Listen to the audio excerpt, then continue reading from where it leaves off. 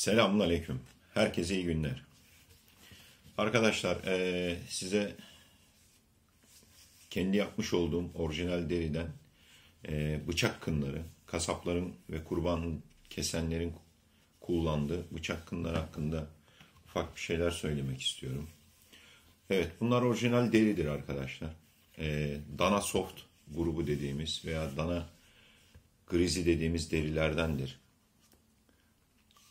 şu şekilde. Mesela şu e, kendime yaptığım özel bir kındır. Büyük bıçaklar için. Bakın bu bıçak 22 santim. 23 santim hatta. Bunlar şu vejetaldir. Tek kat bir deridir bu. Diğerleri arkadaşlar şöyle malzemeleri tanıtayım. Şimdi ilk önce derilerimiz var. Derilerimiz e, hakiki orijinal dana derisidir. Hatta bakın şu şekildedir. Aşağı yukarı 3 milim. Çok güzel deri bunlar. Hakikaten kaliteli deriler. E, şu şekil mesela anayın grubu dediğimiz bir deri var.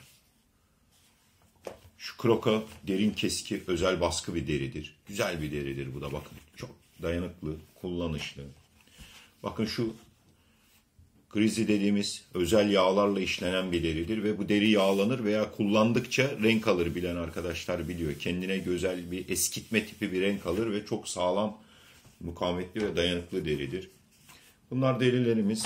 Bunların tabi içine şöyle besleme malzemesi. Biz buna kemer altı deriz. Ee, Birçok kemerin, deri kemerin altında kullanılan altı böyle destek verici, budur. Ondan sonra salpa dediğimiz eee, şöyle besleme malzemeleri vardır. Bunlar Avrupa salpadır. Yırtılmaz. Yani bunlar hiçbir şekilde yırtamazsın bunları. Esnektirler. Bunları da böyle eee bir katta bu var mesela. Bu da salpa. Bunu da kullanıyoruz. Eee, en son katı arkadaşlar böyle özel plastikler var. Mesela eee, yumuşak. Çok yumuşak, güzel. Mesela bakın ben genelde şöyle de bir malzeme kullanıyorum. Bu plastiktir. Biz buna eee talin, pimpon deriz. Ben deri çantada çalışıyordum. Deri çantalarda besleme değerli güzel bir malzemedir. Pahalı bir malzemedir. Ama teflon gibidir arkadaşlar bu. Yani güzel, çok güzel bir malzemedir. Bu da içinde hani kandı, sudu, eee, pislik akışını engellesin, aksın gitsin diye, tutunmasın diye. Eee, biz bunları üst üste yapıştırıyoruz. Mesela şu şekil diyeyim ben size. Şuradan bir deri alayım. Mesela bir kat deri, bir kat besleme, bir kat da yine salpa. Onun üstüne de mesela içine de plastik. Biz bunları bu şekilde çok güzel mukavemetli yapıştırıcılarla yapıştırıyoruz. Şu şekilde katlıyoruz. Ve ısıtarak tabii yani bu böyle olmuyor. Kalıpla ısıtarak ondan sonra e, her tarafını kesip boyayıp hazırladığımızdan sonra biz bunları e, bu hale getiriyoruz arkadaşlar. Bakın aşağı yukarı nereden baksanız 6 milim gibi oluyor. Yani dayanıklı. E, hiçbir bıçak içinden düşmez. E, hiçbir bıçak içinden şey etmez. Hatta bakın bıçak ayrıştırıcılar da böyle plastiktir. Çok da güzel plastiktir. Sert şöyle. Bunlar mesela şu tezgahın üstündeki kesim lastikleridir. Biz iş yerinde kesim yapıyoruz. Deri kesiyoruz bunların üstünde. Ee, ben bunları alıyorum böyle sıfır. Bu şekilde getiriyorum. içine koyuyorum bıçak ayrıştırıcı olarak. Orta bölme diyoruz biz. Ee, arkadaşlar bunlara her türlü bıçak oluyor. Bakın 16 santimden 13 santimden 20 santime kadar her türlü bıçağı bunun içine koyup kullanabilirsiniz. Ee, şöyle göstereyim. Mesela 16 santim. Bakın aynı zamanda da arkadaşlar 22 santim bir bıçak. Ziviling bir bıçak. 22 santim. Hatta geçeri bile vardır. Beraber bakalım. Namlu ne kadarmış. Evet 23 santim arkadaşlar. Görebiliyor musunuz? Şöyle yapayım hatta. Bakın. 23 santim bıçak. Aşağı yukarı eni de 4 santim bir doğrama bıçağı. Buyurun arkadaşlar. Onun yanına da mesela şunu koyalım. Şu da bir numara 13 santim bir bıçak.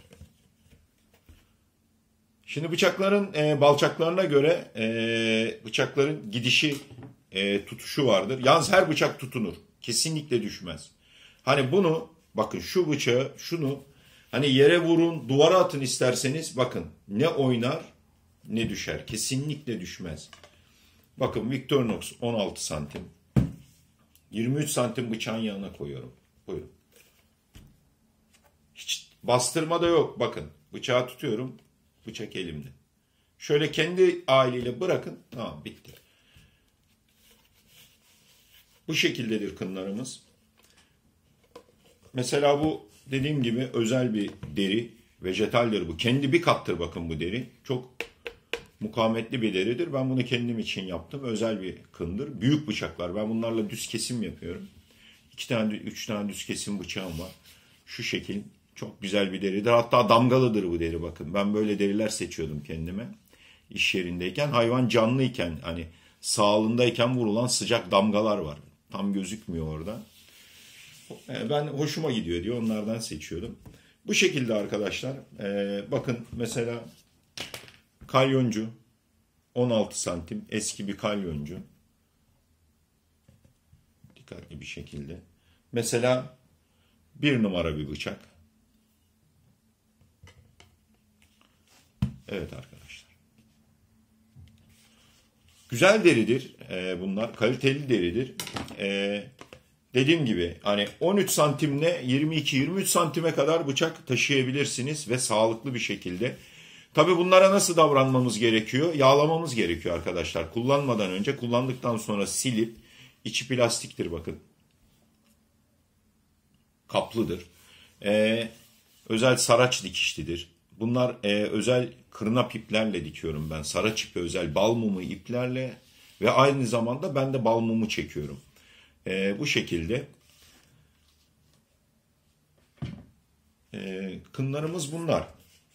Bu şekilde bunları ben asbelkader kendim e, geliştirdim. Çeşitli şekilde yaptım. Bakın bu biraz daha geniş bıçaklarım var benim. Onun için yaptım. Bir de deri masatlarımız var arkadaşlar. Şu şekilde. Bunların da derileri orijinal deridir. Bakın orijinal deridir bunlar. Şu şekilde mesela. Mesela bunlar benim kullandığım masatlar. Kromoksit macun pasta hazırlıyoruz. Bakın bunlar da yapıp verdiğim masatlar. Bunların da bir tarafı deridir. Bakın hatta etiketi üstünde. Bir tar iki tarafı deridir. Bir tarafa kromoksit macun sürüyoruz. Hani pasta cila ile karıştırıyorum ben. Arkadaşlar süremediklerini söylüyorlar. Şu şekilde mesela bu derilerde 30'a 7'dir.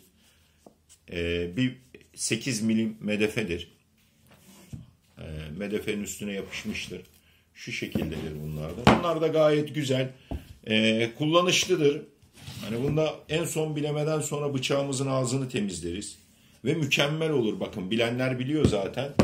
Ee, hakikaten bıçağın olmazsa olmazı deri masatmış arkadaşlar. Ben yıllarca dericilik yaptım. 12 yaşımdan beri deri sektöründe çalışıyorum. Yaşım 51.